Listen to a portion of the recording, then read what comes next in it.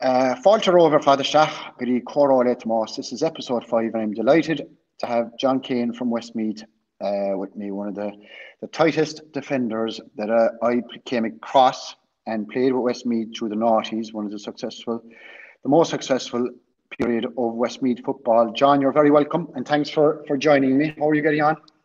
All good, Moss. Thanks very much for having me on.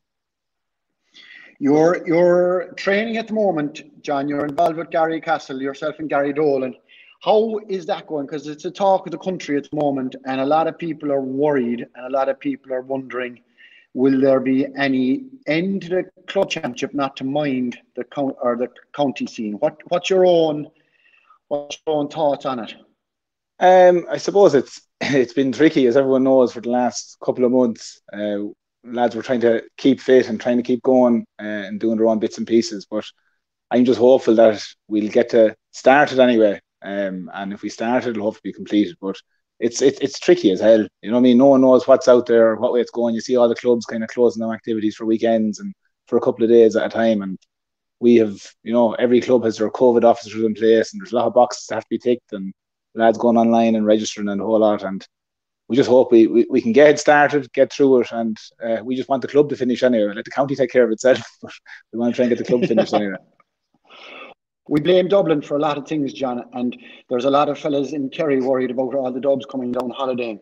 There's a lot more, I know for a fact there's a lot more than Dubs coming down to Kerry for holidaying, but I'd imagine right. that you lads would have guys working in Dublin and all that. And would that be a concern for you like the players have to actually take ownership themselves and actually make sure that they're okay and be honest in filling out the forms and all that. Is it like how's it like for matches, John, and preparing for it? And you're not even allow simple things like not being able to go into a dressing room to give your pep talk or whatever beforehand. It changes stuff like, doesn't it? It does change, you know. It's good to hear as well that the Kerry boys are still afraid of Dublin, you know. But uh, it's but it's I know it does it changes everything. I mean, you, we have our kind of routine. We're with Garrycastle now. The last is our third year, and uh, we have a couple of dubs. And we I would have gone up, and Gary would have gone up, and we would have had a guy one of the Garrycastle guys and the Mull would train the boys up there as well occasionally. But most what we found is, or we would have had maybe eight guys up in Dublin last year working away, and now they're all kind of working from home. There's maybe two, three, four max up there on a given week. So there's more of the guys kind of working remotely and stuff. So there's not as much risk, I suppose, coming from Dublin. But with given that we've only played maybe what two challenge matches since we've been allowed back, we wouldn't usually play that many games at all. But we played two games just to try and get lads back and doing things. But it is totally different. They're talking out under ditches and side sides of pitches and behind stands and even the simple thing of going to the jacks or finding somewhere to do it. You know what I mean? It's it's it's it's a strange situation for everyone, but it's it, it, everyone just has to cope with it, and it's, it's like it's like it all. You know what I mean? You just you get on with it, you deal with it, and uh, it'll work itself out. You, I uh, going to the jacks. Yeah, you just put in. I, I pity the poor man who gets to draw to the trough before the game. yeah, I, I, think I think there's a lot of tight. There'll be a lot of tight team huddles in the championship games. I think you know, you know yourself what goes on in them, but uh, it'll be. Ah, no, it is. It's a simple little things like that. You know what I mean? And you know, physios, and it's all well and good in a day like today when it's when the sun is splitting the stones. But Jesus, when the heavens open, which will happen inevitably during this championship, uh, it's going to be tricky at half time. You're standing the the pisses of rain, and it's coming down hot and heavy on top of you, and it's it's going to be it's not going to be nice for a lot of people, you know if you took out the worry, John, if you took out the worry of the of the, the, the danger of the COVID, right, and fellas getting infected and, and safety, right, are would you be actually looking forward to this year being better structured in that all the clubs know exactly when you're when Westmeath County Board came along and they set up their county championship, the fact that they you knew exactly when your games are on, what day, what week, how how much between each game, you could prepare accordingly. Do you think it's something that going forward they have to look at because you've been involved now, as you said, for the last two or three years. And club football is playing second fiddle to intercounty when it comes to fixtures. Like so, this year alone, if the safety is all right, it'll be brilliant for clubs, won't it? Oh, it's brilliant! Like, and I mean, for the likes of Westmeath over the years, I mean, I suppose you, you're, you're Kerry. If you're talking about Kerry and Dublin and that, they kind of know they're going to be at the business end of championship every year, so they can leave off their proper championship until the end of the year. But for a club, for a county like Westmeath, you never know what way it's going to go. You know what I mean? You could have a long season, you could get a run in the qualifiers, you could be out early, whatever way it works. So it's very hard for our county board to try and plan for it. But in fairness to them, in the last maybe two to three years, um, they've been very good at giving us the fixtures and stuff. But definitely right now we're looking forward to it anyway. You know, because we've been off for so long. But if you had your structure like this and you knew that you were having your county player just exclusively for that period of time, sure, it's brilliant. Like, I mean, there's going to be huge excitement. It's just a pity the crowds can't go. There's nothing to do about it. But there's going to be massive excitement for, you know, clubs featuring with their full complement of players. And there's a lot, a lot of clubs struggle, obviously, in every county because they have such high numbers of lads. And I'd say up in Dublin, especially over the years, there's a couple of clubs that are gunning for it now. They've all their county boys back. They're big hitters, and they're probably looking forward to having a good, successful club campaign. It makes a huge difference to have the county boys. How many county boys would you have with you, John? Uh, it's funny. It's funny now. You know what I mean? Like we, we won it last year, and we still only have the one in. You know, Jimmy Dolan is the only one that's in there um, mm. this year, and Jimmy was the only one that's kind of been in there the last couple of years. Lads have been in and out, but Jimmy's the only one. So we've we've been very lucky um, from that point of view that throughout our league games and stuff like that, we can we basically have our settled group of players, and Jimmy's the only one that has to kind of blend back into it when he comes in. But um, for a lot of clubs, it's it's it's very very different, as you know yourselves. You know what I mean? Yeah, well, geez, I remember when we were going with the girls, it was six or seven of us inside, and it was a kind of a reflection how strong the club were to stay up in Division One because we used we weren't allowed to play games with them. But I know from hearing to the lads behind it, the likes of Brian Begley, they're delighted that the county lads are able to train. They can actually prepare properly, and they're going to get a right crack at it. And. I think, if anything, and I have a feeling that if there is a successful championship, inter-county championship, let's say everything goes ahead grand, and if there's a successful inter-county championship, John, I think it's leaving the door open fully to say, hang on a second, lads, if he can actually throw up a good championship in the window of two months, why in the name of Christ you need 10 or 11 months to run off what you have at present? Do you reckon there will yeah. be changes if the whole thing goes on? I think there will. They'll, they'll have to look ahead properly. You know what I mean? Like it's it's it's it's it's amazing how it's flipped that you have the county managers they'll be crying for their club players all of a sudden. You know what I mean? So, yeah. uh, but it's a perfect opportunity for the GA. Jesus Christ, like everything has to go to Congress and everything has to be passed this way and that. And it's amazing that something like this has had to force their hand in order to get a structure that works. And as I say, hopefully this COVID will stay away and every club or every county will get their championships off and it'll be massive. And I mean, I mean, if if this wasn't, if it wasn't, COVID wasn't an issue, and if the gates were opened, like the crowds that would be there, if I can, you know what I mean? You could have a junior B match down at the park here in Rosemount, and there could be a thousand people at it at the minute. You know what I mean? It's it's yeah. there's going to be huge enthusiasm and huge hunger for it. You know, there's a fierce hunger. A lot of the uh, a lot of the younger lads, I suppose, social media and looking at whole matches, but it's the older generation, I think, that are really, really missing out on going to matches, talking about matches, having the pint inside in the bar afterwards, dissecting the games. They're the fellas that actually yeah. they're going to be chomping at the bit to get back. I tell you, John, we were obviously since Paidi went up, we'd have a fierce interest in Westmeath, and I suppose before he got involved, my my I suppose experience with Westmeath would would would have been them beating us in '99, and in the under 21 final. Obviously, the I, uh, Joe Casey was a buddy of mine in college, who was with the, the minors in in '95. '95, uh, yeah. Joe, yeah, and he was a good footballer yeah. and a tough man, a good character yeah. as well. But yeah, before that, John, I, I I remember seeing somewhere where you said that I know your two brothers played intercounty with Westmeath, but from the very beginning, your dad was was carrying you to matches, going to matches. Was that where the spark was was kind of lit, or was it always there, or had you other relatives involved, or where? What kind of drove you to, to, to go at the football as much as you did, like? Well, I suppose we were, we. I'm living in Rosemount and moved back out to Rosemount now since Christmas as well. It's nice to be out here, but it's it's a small village and was a church, a football pitch, and a school, and that was it. And there was a pub, a pub came in, I think 2000. And our, our football fortunes went downhill after that for a while. they're on the way, they're on the way back up now, thankfully. But uh, but no, it's it's a small community, and all there is is football, football, church, and school, and that's it. And it was it was it was a huge thing. And my father, um, of course, would have brought us. He, he would have done a lot of traveling during the week, but weekends he brought us to matches. My mother would bring me to trainings. He'd bring me to matches. Mother wouldn't go to matches because no more than any mother. She didn't like looking after their kids getting the shite by Howdom or beating the shite out somebody else.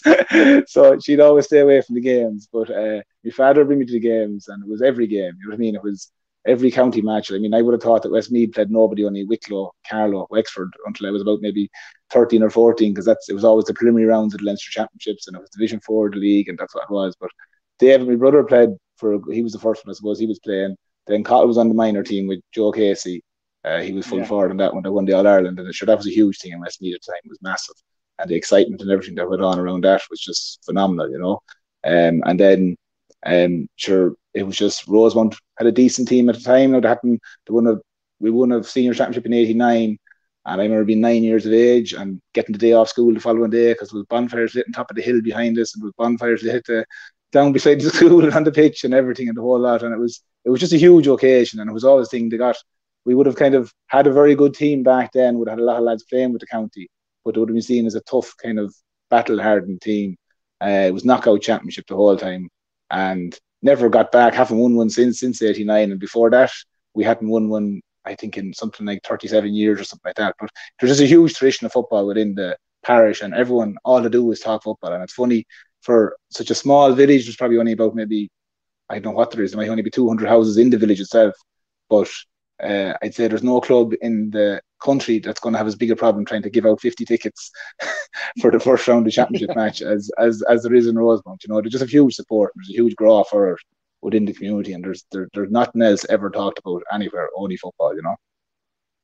Yeah, it was very like our own club at home. There was no hurling, there was no soccer, there was nothing. There was it was absolutely football all the way. Um, and in schools, John, was it where you were going to school, secondary school, or anything like that? Outside of the club, you were the thirst of the, the football for the club. How what way was the school structure, secondary schools, and all that in the area you were? Uh, secondary school, well, primary schools, I suppose, would have been the same as the club. But when we got on to secondary school, um, at the time there was the Carmelite College, which would have been a big kind of college at the time for football back from years ago. But they were amalgamating. There was three schools in Moate were all amalgamating. So they were kind of all over the place at the time when I was going to school. So I was by I bypassed all of Moate, which is only in the road, and ended up going to Athlone, um, which was a community college in Athlone. And then repeated in the Marist College, I suppose, and we got better in the Leinster College's final. But there was, I suppose, we had a community college, they were playing maybe it would have been C colleges at the time. Um, but there would have been a, still a decent standard of us. myself. Frankie Dolan would have been in there with us. Two of us were in there together playing together, so we weren't, you know, we had a couple more along with us. But uh, but it was uh, once Frankie stepped in the pitch, he was he, he, was decent enough putting the ball in the back net, I suppose. But it was we went on to the Marist then. And, Frankie's a good old character too, isn't he? Oh, Frankie is. A, Frankie's training. He's training Rosemount at the minute, so he is down below. So so it's, it's interesting times, yeah. But uh, so Gary's Gary Gary is training Garrycastle and he's training Rosemount. So it'll be it'll be it'll be fun. We were actually supposed to play in the first round of the championship and it was changed then. So thank God we oh, dodged oh, that bullet. I, I, I don't I don't enjoy playing my own crew in fairness. So it's uh, it's nice not to have but no it has to, be done, though. it has to be done sometimes, but I don't enjoy it. But uh, I know we were in secondary school, we got bet with the Marist in a college's final, Leinster A college's final. Um uh, good counsel in Wexford would have been very good at the time. They bet us went on and won All Ireland. But apart from that, I suppose that was it. There wasn't, I mean, there wasn't the same at the minute. I think you have five schools within Westmeath playing A colleges football uh, in Leinster, which is huge because there's not a whole lot in the A colleges, you know. And Rochfortbridge actually won the A colleges there last, was it Thursday, Friday when did they win it? Was it? Yeah. I think they, yeah, oh, yeah. they Luke that. So. was in charge, wasn't he? Luke was, yeah, Luke was in charge, yeah, yeah. Luke was there, a couple of lads, and uh, a few more along with him. But it was um, it was you know there wasn't a huge tradition, I suppose. The Marist uh, would have been the big kind of the only ones nearly playing A colleges back then. And I repeated there, and we ended up getting back in the final, and that was kind of it. You know I mean? But it was on to college then after that. Geez, the the before I got get to college, the anytime a, a team does well, and any team we were involved, if you, you can look back, if it's a senior club team where we went well, or if it's a senior inter-county team, you can always trace it back to a certain one or two or three groups being successful. And you had that above in Westmeath, didn't you? You had that group that came through with the 95 minors. You had the group that came through because it was kind of different. It was four years of a difference in it. The group that won the, yeah. 21 in 99. And then there was another group. Like, there, it, when did you start getting together as like squads with Westmeath John, did you start at under 14, under 16 level? When did you start? Yeah, it was, I suppose it was under 14. It was funny. I remember going off to college and listening to the Mayo boys, especially, seemed to be ahead of it. They were always talking about under 11 development squads and 13 development squads and 14. We just, we had nothing like that. It would have been, you know, we would have gone in at under 14 for trials and, you know, your big, strong lads to get picked and whoever else. And I would have played a small bit at under 14 level then under 16, we have a kind of a Father Manning Cup, and we would have had a Gerry Reilly Cup, which would have been two big enough competitions. And then it was on to minor up to 21. But um, me minor uh, would have been the first time, I suppose, where you were pro- properly properly on it. And because the minors had won it, so I would been minor in 97, 98, I think, and the minors had won it in 95. So there was a bit of a buzz about it. But um, it was funny. We wouldn't have had a great team, and because we didn't have it coming up along, um, it was it was it wasn't something. I remember going to my first training session with the with the minors. I'd missed the first session, and I think uh, you know the way it was done back then. You were brought out, even though you were only seventeen or whatever years of age, and the shite was ran out here doing laps of the pitch, four four flags put in the four corners, and you were ran and ran, and we were training over in Milltownpass, I think it was, and there was no lights on the pitch or nothing, and they were using the lights off the, the street lights. It was on the main road, the old main Dublin Galway road, and the street lights were shining in. And I remember coming to the session. I'd, I'd missed the first session. I came and the boys were like, Jesus Christ, you're not going to enjoy this tonight. And I said, why? And they're saying, no, it's laps. and the boys knew I didn't like laps. I was, as I always had, built for speed, not distance. And uh, so we didn't like laps. So we were running around and then running around the dark, but it was pitch dark down the course, the bottom corner, you know, down along the ditch in the corner. And then you come back up into the light again, you'd run run. So we are running along, and there was a good friend of mine, Faker, was on the panel with me at the time. He was like, "Come on, we're going to get into this fucking ditch here now. We're going to hide. We're, I'm not doing another lap of this." And I was like, "No way! This is my first session as a minor county footballer. I'm not going hiding in a ditch. No way." But within about, I'd say, three or four more laps, the two of us said, fuck this, we're getting into this ditch. and then we hopped into in we hopped into dark ditch and we rolled into the corner and there was about four or five lads lying underneath of us when we went in. so everyone hopped up then, whistle was blowing, we all back in again. But that was their first kind of experience of minor football. It wasn't, you know, when we moved on then we got to under 21 level with Luke. Um, and Luke, of course, had this aura because he, he had been the All Ireland winning coach with um, with the minors. He had beaten yourselves uh, in '99. Um, I was repeating in the Marist that year. I wasn't allowed to play. My mother wouldn't let me play because I hadn't done a great job in the first. I hadn't done a great job in the first leaving cert, so she wasn't going to let me ruin the second one. so I wasn't allowed to play that one. But oh, Luke was us. You then. must have been sick. I was sick, but sure, look at it. As I said, I, I was. We got to the college's final the same year, and she said to me, "Look, you can pick one or the other. Says you're playing. You can either play under twenty one county football or you can play college's football." And look at it, it was it was grand. I, I got to enjoy the crack going down to Limerick uh, to see the boys putting on a show and the whole lot. And sure, it was great to see. It was a great day, not for you now, but it was it was a super day for oh, us. yeah, it was amazing. Like we we were freaking hell to talk about us coming through. We were after winning it in '98 and '99. We said they, they everybody said that we had a better team.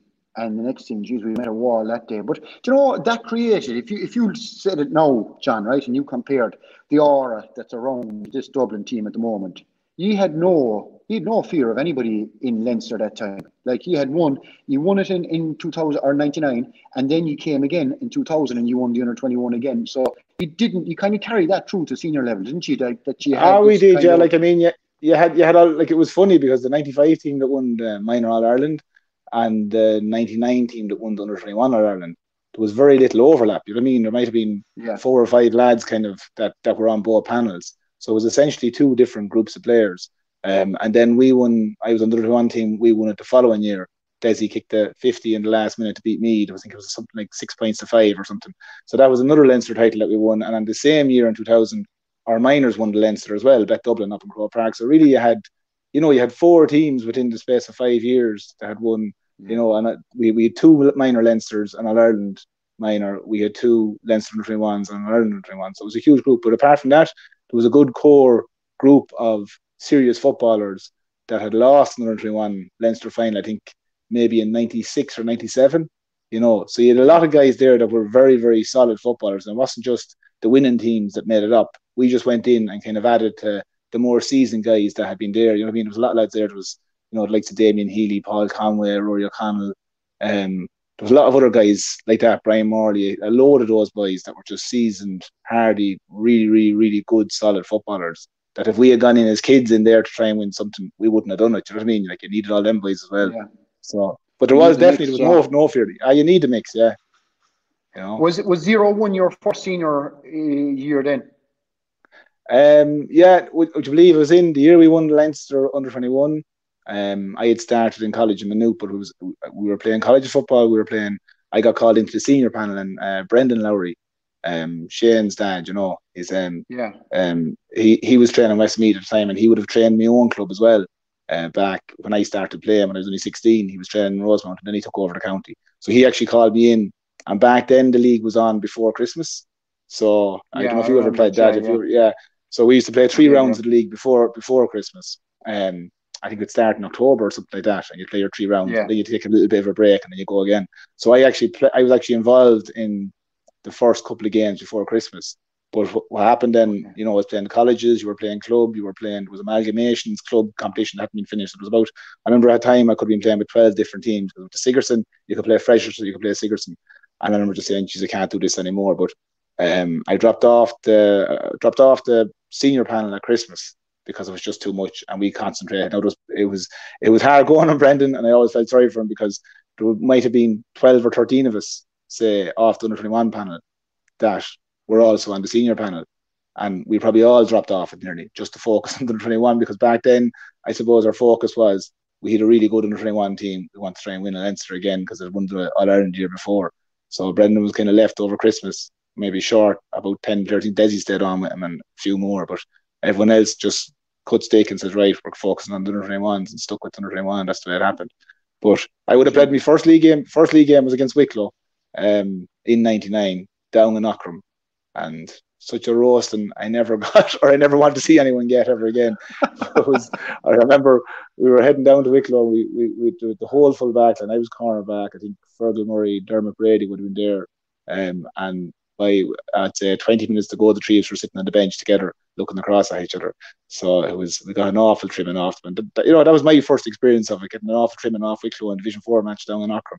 So within three it years, wasn't, it wasn't um, Trevor Doyle by any chance, was it? Because I got a skinny off him down in Killarney as well. Jesus Christ, he bombed four points over in one half.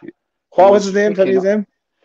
Trevor Doyle. I'll never forget it. Trevor Doyle. Yeah, in Killarney, yeah. and Jesus, like we were supposed to wipe the floor with these fellas, and uh, I don't know. I saw him. I'd say he played with Leinster after. Do You know, there was always yeah. one or two good players. Ah, Wicklow, Wicklow always had a couple of boys. Yeah. Yeah, and it's do you, you, I remember in championship as well, and it happened to me. You came across like there was a fair amount of good teams in Leinster that time, John, and you came across Ollie Murphy young enough in your career, Jesus and Christ, I came across I the first game the first game I ever played with Kerry in Championship was um, 98 and played Cork and Killarney and Aiden I was taken off at half time. It was the worst. But I'll always say it stood to me like nothing for the rest of my career in that I was yeah. never going to underestimate. I was going to do my homework. I was going to. Did you have some similar experience with? Because Murphy was an off. Geez, he could give you. Oh, trouble just... if, if, on his day, like yeah, I mean, I was only what twenty at the time, I suppose, uh, in two thousand and one, and we played Meath. We had won the league. We bet Cork in the kind of Division Two A or something like that. Final, I think. But yeah, we bet we got Cork, and it was a huge thing. We had a great year. You know what I mean? It was Luke's first year in, and it was a great bit of momentum and the whole lot. I went out against Meath. We were eight points up, I think, in the first round of championships, uh, or first round championship. And Luke had given me the job to mark Ollie Murphy. And do you know what I mean? I was green, I was raw, but I was hungry as hell.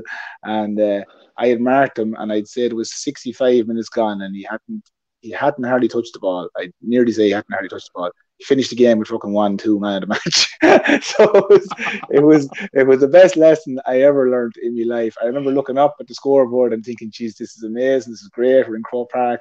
You're enjoying the surroundings." And before you know it, he had one two scored. I'd say in the last maybe six minutes. Now I could be I could be dreaming. I could be dreaming that maybe maybe it might have been sooner than that. It could be in 15 minutes. But I always had it in my head. I did a great job for 95% of the game, and then got an outrageous roast. but he was just he was incredible. You know, I'd I'd say he was probably you know yourself if you get an elder kind of guy and that bit of cuteness, he'll always give a young lad a bit of a roast. You know what I mean? No matter how good yeah. that young lad is, when you're green and you're raw and you're just not that focused. But as you say, it was it was the best lesson I ever got in my entire life. I'll never forget it. And he was a phenomenal footballer. Do you know what I mean? When you look back at him, he was he was he was incredible. Like you know what I mean? It was it, it's it's I wasn't I wasn't glad at the time, but as I said, it was a good lesson. But I met him again then in another Ireland. We met him again in the Ireland quarter final, and I went up to Luke and yeah. I said, Luke, I want I want to mark him, and he was delighted. Went out again. He roasted me again. so, so you weren't going to lose a third time. no, if I was a bit older, I would have I would have feigned a, a, hamstring injury or a broken toe or something, you know. But I, I wasn't I wasn't queuing off back then to have the sense to say I'm not marking this lad twice in one year. But uh, ah, yeah, look at oh, it. It's, it's, you, you live and learn. I was going to say that uh, Paidi was the first O'Shea you came across, but you actually came across Mark as well in Maynooth. And looking at that team, you had a fierce team. You had Wooly, you had Alan Brogan. I'd say if you didn't win a match, John, you had good crack anyway. Maybe that's why you didn't win a match because it was doing him. well, no, I think you said it there. Wooly was our Woody was our eldest and most responsible individual on the team at the time. So you know there, there was always going to be a bit of crack. There was always going to be a bit of crack there. But uh, ah, no, we had a serious. You'd nearly be. You know, there was who was there? Sure, Mark Italian, Barry Cahill, uh, Alan Brogan, Bernard Brogan, um, David Henry was there, and Dec Lally from Dublin, and we had Carl Ennis from Kildare, and Mick Foley, and Dermot Curry, Conor Moore, and myself and Mark, who else? Rory Kavanagh, Ross Munnelly, Wooly. She's the can't. You, know. Did you you competed in Sigerson? Like, did you? Where'd you go? Did a semi final or? Oh no, yeah, we get we we we the first year. Say, Mark came in the year after me. Um, I think he did a year in CIT first, did he? and came up to uh, Maynooth then, I think. Or something. He, he had an awful time below there, John. We had, to, we had to get him out of there. We had to get him out of there. fast. you're, you're, you're, you're still in there repairing the damage he did, I'd but uh, he uh, yeah, he came up to it. It was the first year we played the Sigerson, and sure, it was back then the freshers could play, but sure, we had a really good freshers team um, that came in at one time. And sure, there was eight of us on the Sigerson team, which had never, you know, isn't allowed nowadays. But there was eight of us start, eight freshers started, to, and Waterford IT, as Matty Ford was playing, and Declan Browne, and a few more. They would have Waterford IT were decent at the time. The following year, then I think we were caught on the hop, and then we had two decent years where we we made the weekend. The last two years we were there, and um, um, we got beat by. I know we bet St Mary's up in St Mary's to get to the weekend. I think I think UCC could have beaten us. I think it was Galvin's. I think it was Galvin's team. Would he have been playing with UCC at the time? He would, yeah. And they, they made a final as well. They lost the final, but they made it. Yeah, yeah. yeah I'd say that was the year. It could have been. It could have been 2002, I suppose. I'd say roughly around then. Yeah. Um, but they had a right good team now. They had, I think Anthony Lynch could have been playing centre back for them, but a few more boys like that. Mm. But they beat us. But again, sure, look at we were all we had all those players, but sure we had we didn't know how good we were. I suppose we were all only 18, 19, 20 max. Like you know, I mean, Wooly was probably 22 or something like that. As I said, you know, but it was it was um it was just pure inexperience. We didn't realize how good we were, you know. But if, when you look back at it and you look at the players, and I probably left out a good few lads that were that did play as well, uh, that were exceptional. It's a good competition, John, isn't it? Oh, it's the best. I, I think it's you know it's right in between under twenty one county football um, and senior intercounty. You know what I mean? And there's a lot of Sigerson teams that had wallop a good few Feckin County teams, um, is, yeah. but they're um, it was it was unbelievable. It was brilliant. Like I mean, I, I absolutely loved our football in college. We'd we'd fierce crack all together. You know, we we were. I think lads used to think we were on pub crawls the whole time around Maynooth, but it was a case of that we'd go in, we'd get one pint and a beer mat or a pint glass or something would be spilt or uh, and now ice cube could be thrown behind the bar or something, and we'd be fecked out of one pub. So it was, it it was drink your pint as quick as you could before you got thrown out of it and move on to the next one. But we we'd fierce out crack up there, and we'd you know, we, we had another good year. We got to the, we got we got to a semi final, I think in 2003 as well, and that was down in that was in Cork actually, and we had right good crack that time as well. But you know, it was it was it was a great. It's Sigerson football. You're you know with everyone when they're all living away together and they're in houses and you win a game. Um, you wouldn't have to go back for your county training. You were out here, you know, you could be playing up in Belfast, you could be playing in Cork, playing in Sligo, yeah. you could be off yeah. anywhere at all. And it was the perfect excuse that, you know, you genuinely weren't getting back in time. There was cans on the yeah, bus, there was a bit of crack, you were back to someone's house for a few more, then you were tipping back down and back again. And sure, you know, it was it was a great bonding. And because we were all so young, um, it, I'd say it's a lot different than what it is nowadays. Now, maybe the boys that are playing nowadays to tell you something different, but I think, oh, Jesus, yeah. I think with the intercounty well, is probably a bit more serious our man he left CIT, Mark, and he went down doing computers, and I, I, I still think he has issues turning on his phone to this day or, or because he hasn't a clue. But he barely got out with his degree above in Maynooth, and my dad, I remember, was delighted that he actually got through it. So we're all delighted that. It was very similar yeah. as well, right? Around that time, Kerry were struggling 0 1, 0 2, 0 3, right? And Westmeath were probably struggling as well in that I think Meath clipped your wings a couple of years in a row, right? And without going through, yeah. I think Luke was in charge that time. Without going through, I'm going to fast forward a bit here now, and I'm going to straight in to when when our our bad, well, say our bad run and your bad run was kind of in, intertwined because when Paidi left us, he went straight up, right? Can you remember? Can you remember when it was announced that um, Paidi was going because he told us he was he'd never again manage anybody, and then a week later we found out that he was going up to to Westmeath. But can you remember when it was announced that he yeah, was actually I, going up there? Yeah, it was. It was. Um, I remember being in the house at home. Actually, I remember my father telling me and not believing it. Really, I mean, no more than anyone in Westmeath because it was such a. I think it could have been.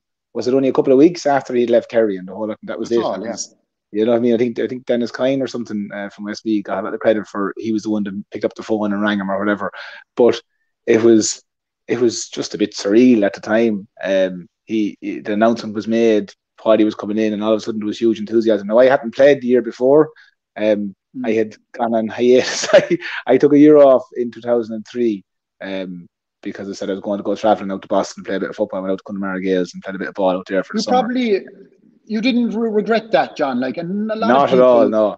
Jack no. McCaffrey is similar along that. Like, you probably enjoyed it and never regretted it and had a great time. Like, yeah. Yeah, ah, yeah, definitely. I just I decided I decided at the end of 2002, right, I'm going to Boston or I'm going to somewhere for the summer. It was me last year of me J1. Um, myself and Graham Norton from Dublin, who was playing with us at the time, and he was with Dublin as well. Two of us decided we were heading off, and out we went. And sure, we were joined out there. Um, um, Desi came out. Desi after the me game. Desi arrived out. Gary arrived out as well. Another uh, buddy of ours, Paddy Swinburne, was out there as well from college, and she's we had, we great old crack. I tell you, we definitely didn't regret it. Um, herself even came out with me as well. She came out for after about three weeks. She she followed me out. She must have been worried about me, so she came out as well. And uh, we did a great old time. But we came back, got the end of the club season as well. Um, and I just the way I looked at it was um, Luke was over, and I, again I felt bad, kind of letting Luke down because I'd have such good time for him, such respect for him. He was eager for me to play, you know, like every lad played league and then you can go. And I was like, Luke, if I played league, I'd be staying for championship, you know. So I just said, look, it's, yeah. it's and that's it. I'm not going to pretend that I'm not going and then leave you high and dry. I'm playing at the beginning of the year.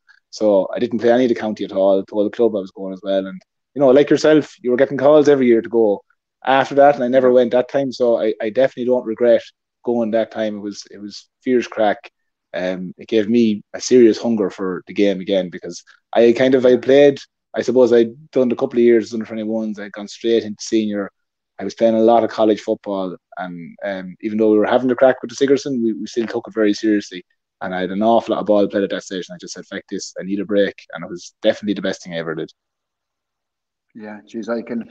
I always, it never kind of came into our heads like to go off for a break, but I see young fellas going off now, and fellas will be questioning it. And Jesus, I, I don't know. I don't know what I enjoy the county scene as much as it was in our time, John. You were you touched on it there with the colleges scene, and it's not that we were mad. It's not that you were out all the time, but I think the balance was no. a bit better, and I think it wasn't like Jesus Christ. I look at it, I look at it now, and it is really a six day week if you're an intercounty player. Um, but I, I want to get into the Paidi stuff, right? And Paidi landed up, and was there kind of excitement within the squad itself, or was there saying Jesus Christ, this wild man could do anything up here, or was there genuine kind of this could be good like?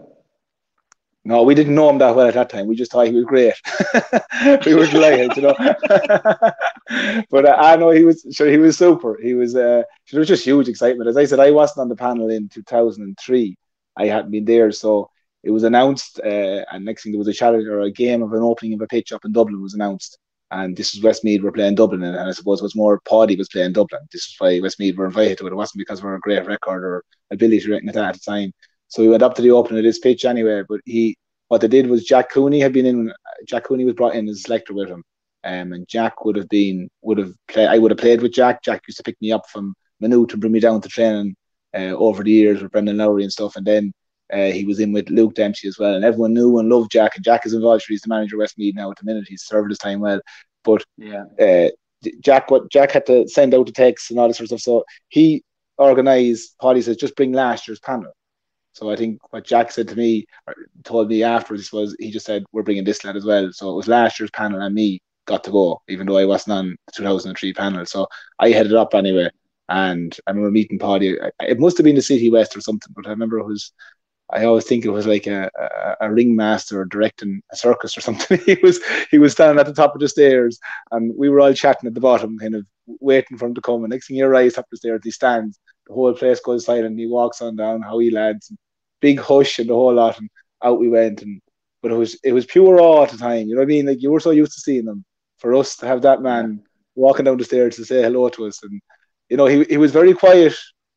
You know he he wasn't going to go around bawling and shouting. He just asked a few things, and that was it. And that was my first game, and it wasn't. It was a it was actually a funny game. We we I didn't start obviously uh, because I hadn't been on the penalty shooter, but it was a lad. Um, I think it was Kenny Larkin was playing full back, and he must have been getting a bit of a hard going from some of the Dublin boys. And Paidi calls me over straight away, and it was only 20, 25 minutes gone in the match, and calls me over and says, uh, says Mark tells me you're a good footballer. I says, okay, yeah. And he says, get on there and do a job. I says, grand. There was a little bit of rain at the time, and I went jogging onto the pitch. I went running on, full, full of the joys of spring, you know what I mean, ready to impress. And as I was jogging on, my marker just made a little slight change of direction.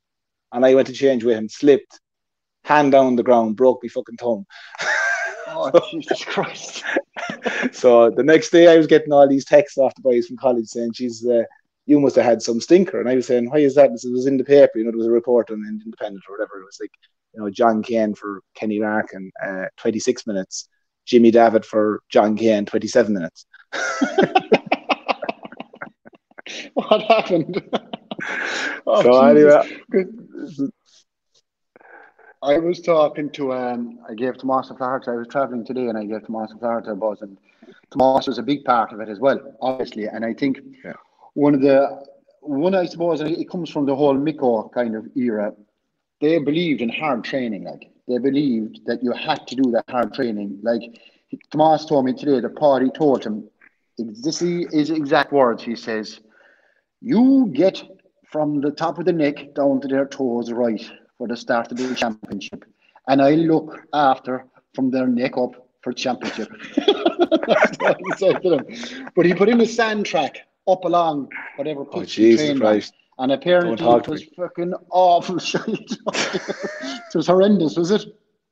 It was horrendous. Yeah, I remember there was kind of rumours going around that there was sand going in in Ballinagore. We always trained in Ballinagore, and kind of everyone everyone loves Ballinagore because any any success that Westmeath ever had uh, we trained in Ballinagore. It's a it's, it's, a great club. They're a junior club, but uh, you know they would have had success. Would have had senior intermediate, but but they put, there was rumor going around that there was sand going to Ballinagore. And we're like, what in the name of Jesus, there's sand going to Ballinagore for? We arrived out one day and there was that depth of sand. I don't know how many. I don't know how they got it in. I don't know how the lorries got it out. I don't know if Paidi brought boys up to shovel it for him or what happened, but there was sand the whole way, say, from behind the goals, uh, right up around Uh, along probably about maybe 10 yards wide, 15 yards wide, the whole way right up to the far corner of the pitch, outside of the pale.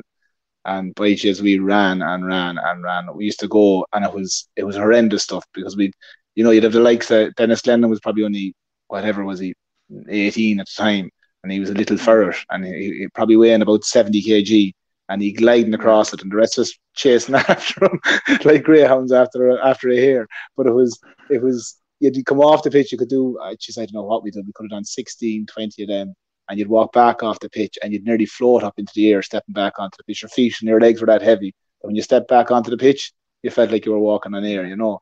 But that was it. And then he'd make us do, we were into our wire and wires. And Tomas was unbelievable. You know what I mean? He was, he yeah. was, he was like a real, he was a real sergeant major. He, he just took no shite from anyone. He trained you very, very, very hard. That very hard. You know, he said that Paidi told him. He says we'll have to we'll have to plan. We'll have to have a different plan. He says for these fellas. He says I'll be. We'll have to go good cop, bad cop. He said to Tomas, and he said Tomas, you'll be the bad cop, and I'll be the good cop. yeah, Tomas, Tomas, Tomas, did, Tomas didn't mind that. He came naturally to him, I think.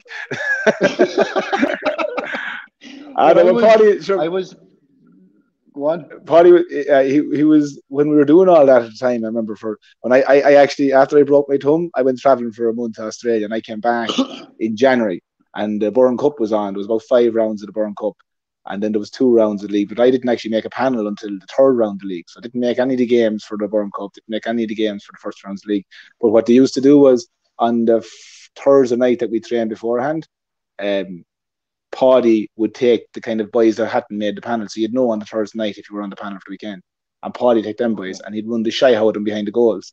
You know, and Tomas would take the boys and do football with them. So if you weren't on the panels like a month and a half or nearly the guts of two months where you were never on the panel and you're waiting for this on Thursday night, no, you're not on the panel. I was like, oh Lord, jeez. But in fairness to Paidi, Paidi, he'd take it down behind the goals. There's no such thing as him going off doing the football he'd have you jumping across sticks and carrying lads in their back and all sorts of stuff, you know.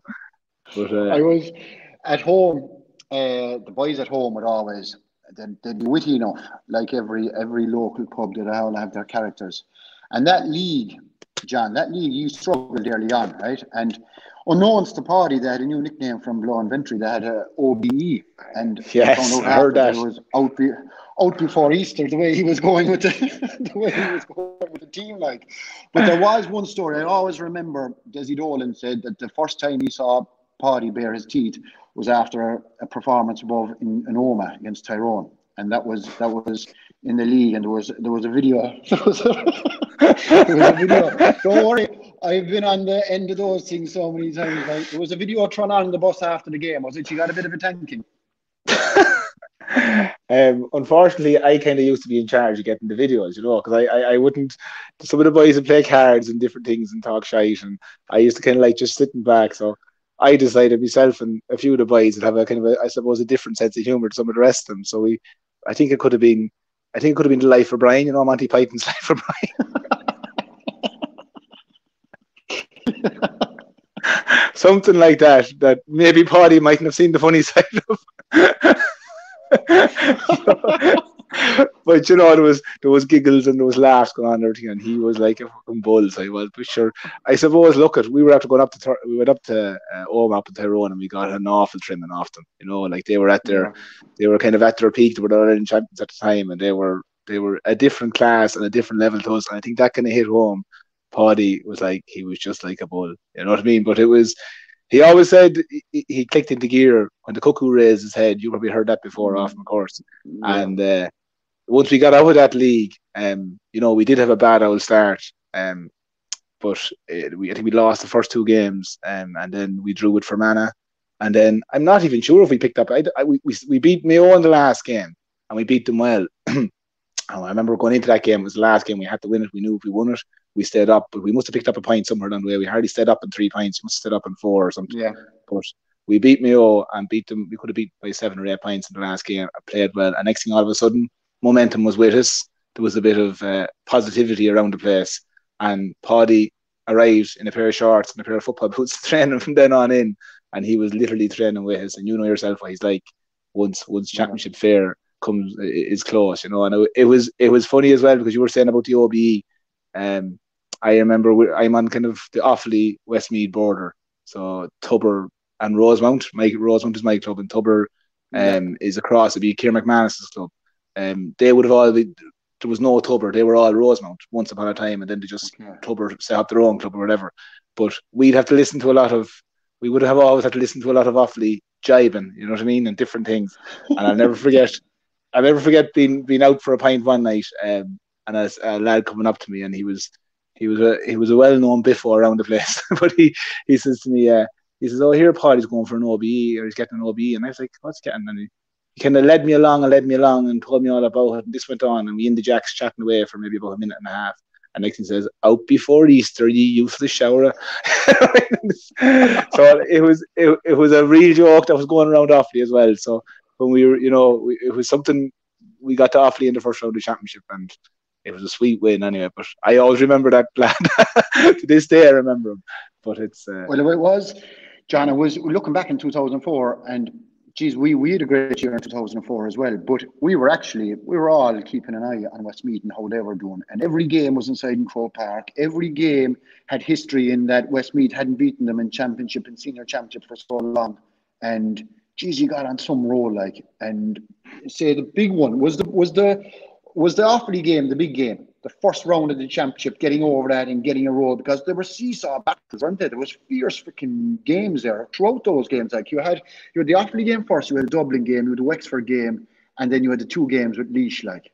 And Yeah. to win the, it was some championship to win, like wasn't it? Because it was a very hard championship to call at the start. The Dubs weren't what they were. No, what they no, the Dubs like. weren't what they were, and Meath were kind of fading slightly as well, I suppose. Um, and Laois were actually the Leinster champions at the time. They had won in 2003, so it was totally different. Like Leinster was probably the most competitive championship at the time. It was hugely competitive, but we hadn't beaten Offaly in I don't know how many years, but it didn't really affect us. I suppose it was more your supporters would be going on about that because we've been looking at it for years and years, but it wouldn't have properly occurred to us. But I think I remember after that Offaly game, just being so happy, supporters being so happy, and we actually kind of robbed it a bit. I think Brian Morley kicked the point that maybe if if Hawkeye was in, wouldn't have been given, but um, Yeah. that we we ended up winning by a point, getting over the line, and it was just a huge win for us. It was massive, and what it meant to everybody. And I suppose we were listening to Paidi all the time, all year, and he kind of kicked into gear for the last league game, and he told us we were going to win. We win that one. He'd convinced us then that you're going to beat Offaly. We beat Offaly, and all of a sudden Yeah. he could tell you whatever the hell he wanted to tell you, and we were going to do Oh, it. yeah. So you know, you carry that belief on then, and then it was against Dublin. And sure, he loved he loved playing the Dubs, as you know yourself. You know what I mean? He- there was nothing. Yeah. There was nothing better than going in to face the Dubs inside in Croke Park, especially, and that was all around the time. And uh, Jesus, like it was weird the way the documentary. Of course, he told nobody about fucking cameras. I bet you. He told nobody that this gang were. not a word. He had a no. very, he had a very, he had a very small ego or Paidi, didn't he? bit bashful, all right. I'd say that's one of the words how you describe him, you know. But he was a no. Sure, we arrived and sure there was cameras there some night. But uh, in fairness to them, they were very, very good. I suppose as the year went on, if they're there in every dressing room and they're there in every huddle and they're there at every train, they're there every match, you soon don't nearly realise that they're there at all, you know. But he, Yeah. he, he arrived with them or whatever. They arrived with him. He was that cute. We didn't even know it was a documentary about Paidi. you know what I mean? We Yeah. thought it was a documentary about us in our naivety that someone had wanted to do a program about a group of boys in Westmeath, you know. But it was, it, was, it was so well done. And but no, there was Well definitely no, there was definitely no Paidi coming in and saying, lads, would you mind now if I got these lads in to do another video? he didn't try and soften us up or happening, put us like- up. It was happening. He never had to explain it. He never did explain it, and that was it, you know. I thought I thought Paidi was the only man with pishogues, and he had awful pishogues. Jesus Christ, and too many. And he had a pishogue actually when he was with, with Westmeath. He'd try, he'd leave any championship match he had. He'd leave Ardevore at three or four in the morning. He'd be up and he'd have the same suit on. He'd go into the cathedral for mass, and he'd meet up then with you after wherever he goes. And he wore the same suit for every mass, every time he had championship, five Yeah. or six rounds of championship that you had. Eventually, he actually told us that he thought he thought he says these fuckers above here think I have the same suit. I've only one suit, I'd say, because he wore, wore the same suit. But I found out, John, you were superstitious as well, like because Tomas Santi says, ask him about the bottle, ask him about the white bottle. He says. I, just I noticed moved on. I, I, I, I moved, no, no, I moved on to pink. I, I'm more comfortable with me sexuality at the minute, you know. um, no, yeah, the white bottle. Yeah, I got. I used to get an awful second about the white bottle. I, I, I, I'm claiming to all the boys now, the Garrycastle lads. I'm saying that I, I was always ahead of my time. I, I never shared a bottle. I was a bit kind of strange like that. I'd never, from kind of, I suppose, from merely minor age or whatever. I was, I just I suppose, a little thing where I wouldn't share a bottle. You know, so I, uh, the boys be guzzling out bottles. I'd always bring your own drink, you know. And it's funny, even with the club when I started out playing, there was uh, there was always there'd always be a kid there that had carry me bottle, and the the gossip that used to carry me bottle for me for Rosemount for years and years when I was playing his Owen Carberry, and he's now the Westmeath goalie. So Yeah, he's yeah. so so it's funny. So Owen would have been my own personal water boy for for maybe ten years, and I playing with the club. But I always had my own white bottle, um, and I'd always have it, you know, taped or strapped, and it was probably it was that old and that dirty. It'd nearly walk over to me if I called it from the sideline, you know. But it was it was it was it was a superstition I have. I I'd bring it out. I'd throw it into Gary Conton goals. I'd drink out of that, and that was it. And I'd regularly be marking lads, and they'd say, "Give me a drink," and I'd say, "No, piss off, get your own bottle, bestie." And lads were probably thinking I was ignorant, but, lads were really good. In the end, you know, Gary would say, "Oh, he's his own stuff in that now. He's his own stuff in that. You don't want to drink that." You know, I'd be boys be thinking, "God knows what was in it," you know.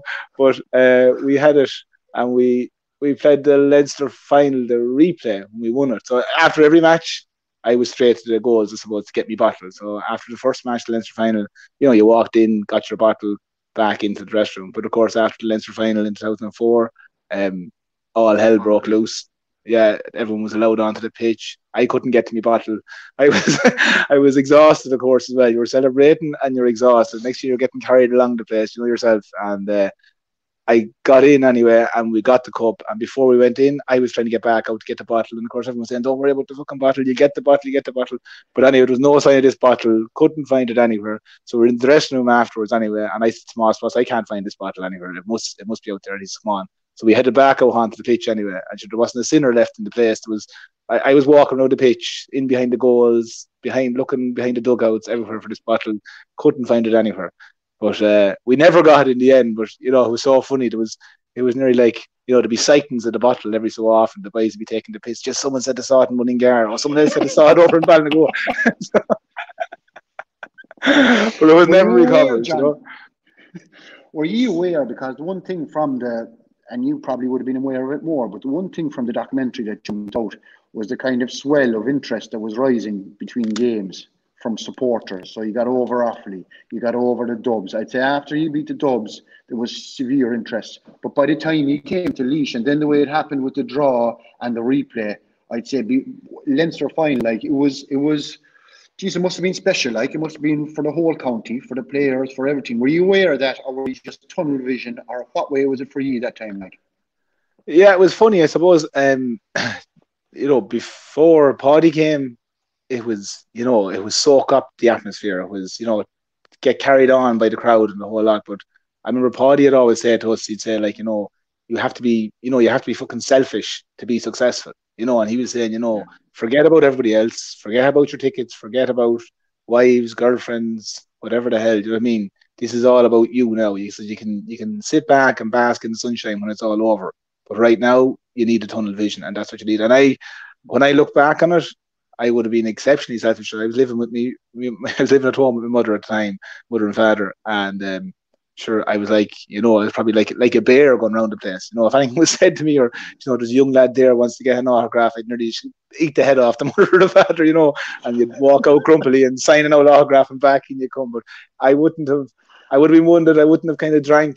Uh, I'd enjoy my pints, but I wouldn't drink when I was playing football. You know, when the championship was on uh, until it was yeah. done or until you win something or something like that. That's the was kind of all or nothing.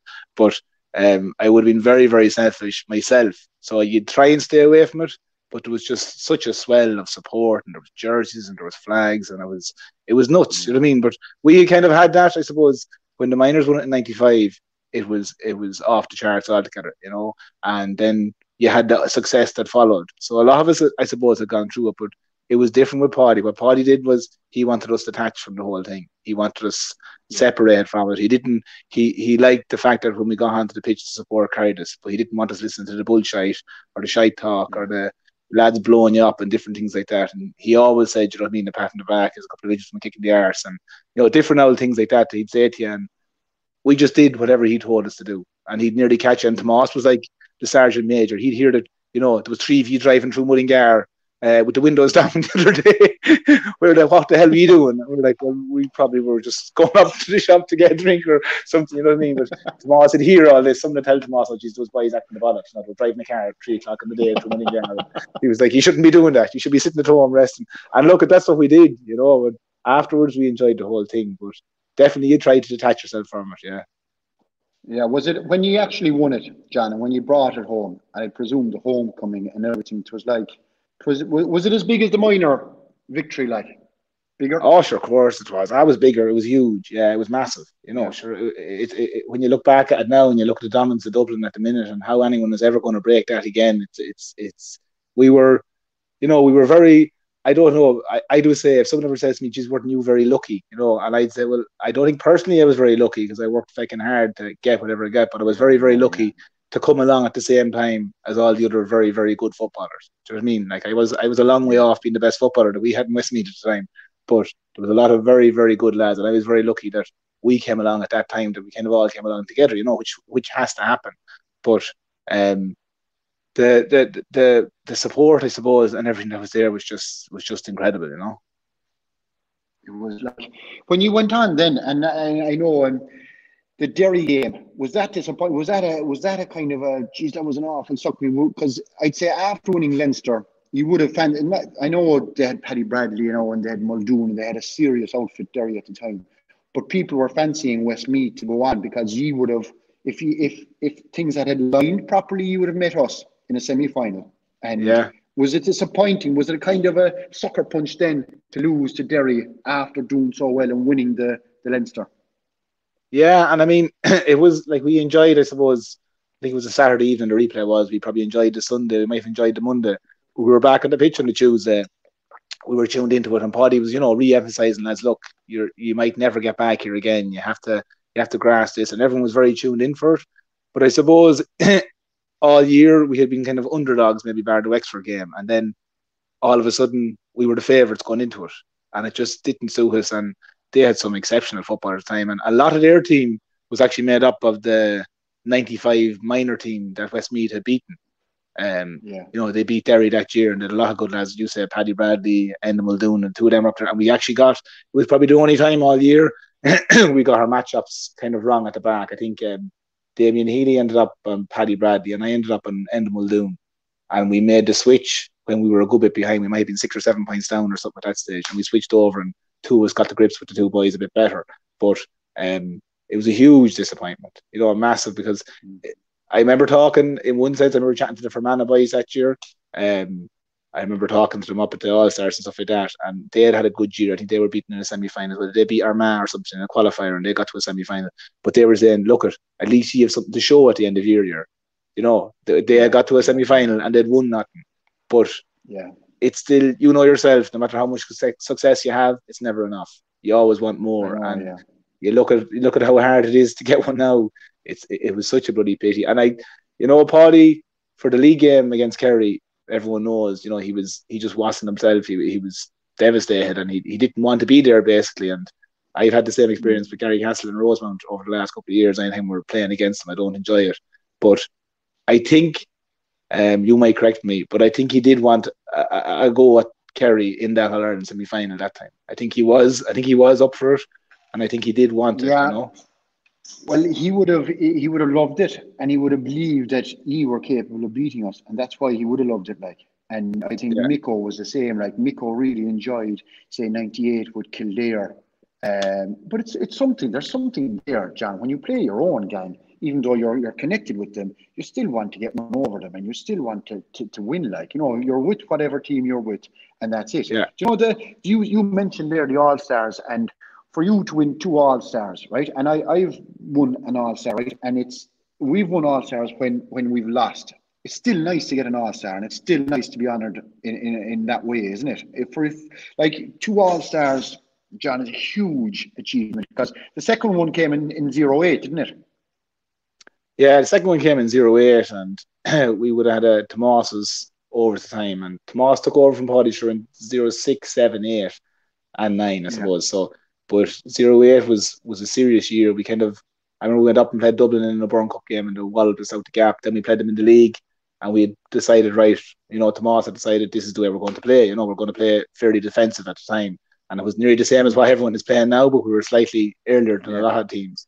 So we had a very good defence and we structured it in a certain way and we had enough boys up front that if we got the ball to them, they'd nick it. And um, yeah. we we ended up going through the league, Dublin beat us in the first round of the league. We came back then and we ended up getting to a league final. Um, and it would have been it was Division Two league final. Dublin were down in Division Two probably the last time they were down there. I'd say. Um, but there was a lot of very very good teams and it. was really good. That Monaghan team was just starting to come as well. And we bet Monaghan up in Monaghan to get to the league final. We ended up beating Dublin in the league final up in Navan, and we we probably beat them handy enough in the end. I think it was four or five points, but it was it was it was as comfortable a win as anyone had ever have against the Dubs, you know. And then we end up going out in the championship uh, we came back and we met Dublin in a Leinster semi final. I think we beat. She said, "No, we, we bet awfully in the first round anyway, and maybe it was straight against Dublin. I'm not sure, but we really we just they pipped us by about two or three points, and we came back in the back door. and We won a couple more games, and then we ended up going up to Tyrone. We drew Tyrone in a. It would have been the last round before the quarterfinals, say you know. Yeah. So whatever round that is, three or four. Not to, not very unlucky, them, yeah. Yeah, we'd um. You'd sending offs and everything yeah, Dorn was sent off, Dorn Hart sent off. Uh, I think Brian Dooher was being the cute Brian Dooher that he is. He he, uh, he was marking Dorn. I think I think there was a little dig one way, and Dorn got caught giving him the dig back. And as Doran was being booked and sent off, Damien Healy went over to mind, mind to Mark Dooher, and before the game restarted, Heels was sent off as well. You know, so it was we were down to 13 men for the last 15 minutes, and we had a chance at the end. I remember for a goal that would have kind of I think we were beaten by two points in the end and went on and won the All Ireland. Not to say that we would have won an All Ireland, but we were very well organised. Uh, we were very hard to beat, and I suppose uh, if it was nowadays, somebody that had get knocked out in the third round of the qualifiers wouldn't be within an arse's roar getting an All Star, but whatever happened that year, it, was stars aligned, and I ended up to pick up a second one, and it was it was it was nice. You know, you'd always rather the team success definitely from that year, and I always see that as a as the biggest disappointment that particular year, 2008. I thought we were I thought we were excellent, and I thought we were very well set up, and it was disappointing not to win something. You know. Yeah, it was. You'd always had the job, John, of the opposition, the main men. Like during those years, like you picked up all the main men, like the Matty Fordes, Brogans, all of those players that was your job. Like it was a freaking hard job. Like because that time you didn't have the protection you'd have now from a lot of teams. Like. Yeah, no, you didn't have any protection. I remember in the Leinster final, if you look at the clip at the last couple of seconds, I think our three half backs are attacking. Uh, we Damien Healy, Derek Heavin, and Michael Ennis, and there was no point in telling any of those three boys to stay back because they were gone. Desi would be Desi would be further, would be closer to me than them three boys most of the time. But it was yeah, I was always given the job of picking up the name, and I'd always go. I loved, once I got into the zone and I was tuned in enough to it, and I knew I was kind of, you know, I, I had a bit of speed. I I wasn't a brilliant footballer, but I was speed and I was strong enough at the time. And I used to love finding out. I'd always be at Tomas, wrecking his head, saying, "Who am I going to be marking? Who am I going to be marking?" And it's only now when I look back and, and I have lads, you know, you're trying to uh, from the other side of from the coaching point of view, and you're trying to get your matchups right, and it's very hard to get them right nearly until a couple of days out. But I'd be at Tomas, yeah. you know, straight after one game, I'd be like, right, who am I marking the next day? And I had to know who it was. And as we got on, it was kind of we had a guy called Mick Sullivan who had done a lot of video analysis for us around maybe six, seven, eight. And Mick used to edit down clips for me, but he wouldn't do it for anyone else. He was like, I can't do this for everybody, but he, he'd edit down. So if I was marking Matty Forde or whoever it was, or Mikey Meaton or whoever it was, he'd cut down uh, maybe into a two minute clip. What lads are getting nowadays all the time, but back then it was ahead of its time, I suppose. So he cut down a two minute clip of every time, you know, Matty Forde touched the ball, every time Mikey Meaton touched the ball.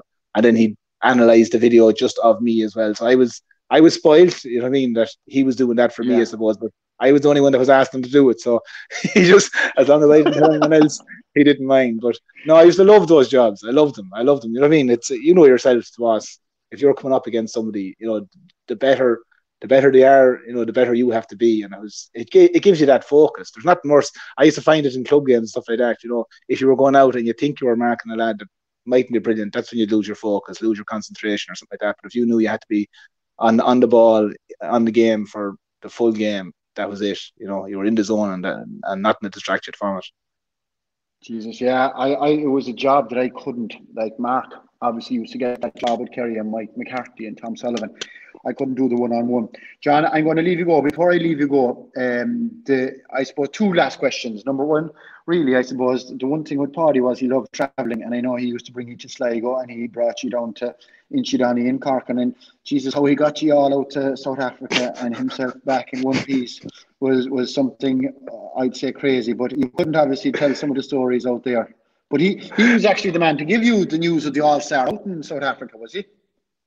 Yeah, I mean, you know yourself, it'd be hard to get get a couple of words with Paidi at any stage because there'd be that many lads trying to pull out of him and talk to him, and especially after the Westmeath matches, you never get him. But uh, Tomas, we'd had, I suppose, we'd had maybe nine or ten nights out in South Africa, and we didn't, I suppose, take it easy. We were we were letting loose and having the crack, and you know, it was probably the day. It could have been the day we were coming home. Tomas comes up to me, room, knocks on the door and says, "Get get out here, Paidi wants to talk to you." And I was like, "Jesus, uh, Tomas, I'm not in the best of shape right now. Come on, down we go."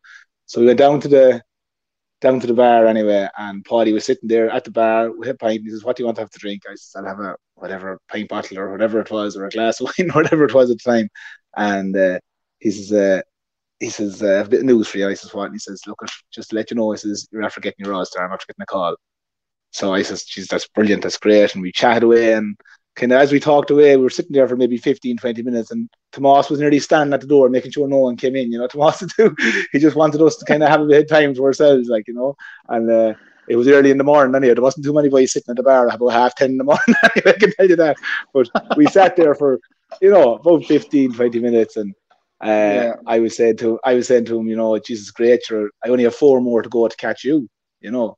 And he kind of puts down he, put, he puts down the pint he says, Is that your first drink? I says, Yeah. He says, Wait till you have a few more drinks before you start talking shite like that.